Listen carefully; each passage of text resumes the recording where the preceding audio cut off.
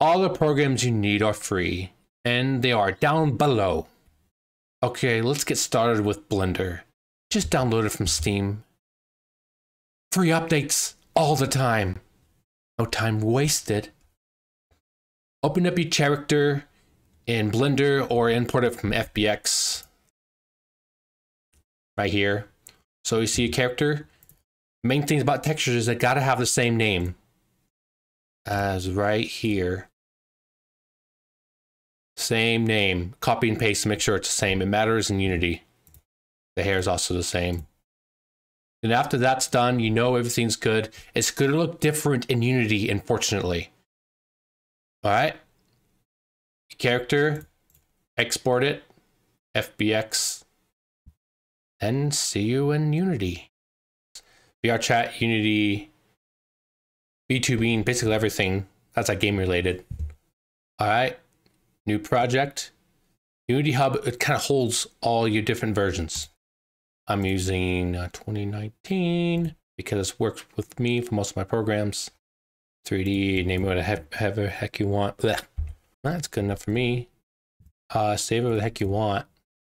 Ching and create project. This can take a while. All right, before you put your character in, make sure you assets import package, all the custom package stuff. Before your character, all the shaders, it just saves a lot of time. All right, first comes the textures. I recommend the textures first. Put them in. This can take a while if they're large, and mine are large. Okay. Then after that, uh, do the sizes and alpha if it has it. Recommend you do that to all your textures. Mine are large. Apply it to all of them. All right, textures are done. Now it's time for, yeah, this. Hi, character, here it is. Now you're freaking out. It doesn't have some of the textures. Don't worry, I'm sure how to fix that. Your materials for now. This one. And this one. Then boom, apply. I already tried to find the existing ones inside of there. The reason why I tell you to do this, because I'm going to show you. All right.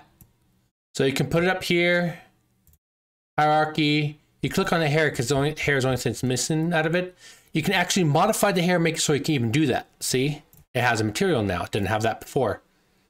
Grab and drop. And now it shows it. Delete that. Click on here. Now it has it on there.